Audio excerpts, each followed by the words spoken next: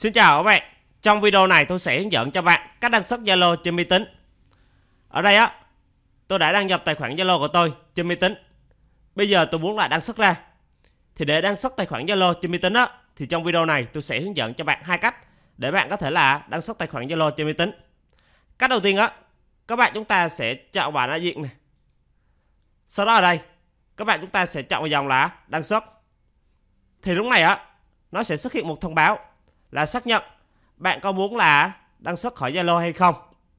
Và xóa lịch sử trò chuyện khi đăng xuất. Nếu mà các bạn chúng ta muốn là xóa lịch sử trò chuyện khi đăng xuất á, thì chúng ta sẽ tích vào đây và bấm vào đăng xuất. Thì lúc này á, nó sẽ đăng xuất tài khoản Zalo của bạn trên máy tính. Và đồng thời, nó cũng xóa luôn lịch sử trò chuyện trước đó. Còn nếu mà các bạn chúng ta không muốn là xóa lịch sử trò chuyện, thì chúng ta đừng có tích vào ô này nha. Bấm vào đăng xuất thì nó chỉ có đăng xuất tài khoản Zalo của bạn trên máy tính mà thôi. Đó là cách đầu tiên. Tiếp theo tôi sẽ hướng dẫn cho bạn cách thứ hai. Cách thứ hai á, các bạn chúng ta sẽ chọn vào cài đặt này. Cài đặt á, nó có biểu tượng là hình bánh răng cơ. Nó nằm phía dưới này. Các bạn chọn vào.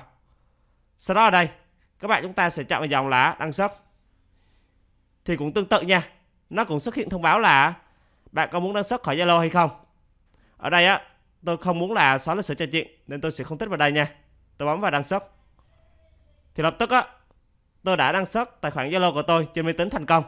Đó, như vậy là trong video vừa rồi, tôi vừa hướng dẫn cho bạn cách đăng xuất Zalo trên máy tính. Nếu thấy video hay, hiểu ích á, thì các bạn hãy đăng ký kênh và chia sẻ cho nhiều người khác cùng xem. Cảm ơn bạn đã theo dõi.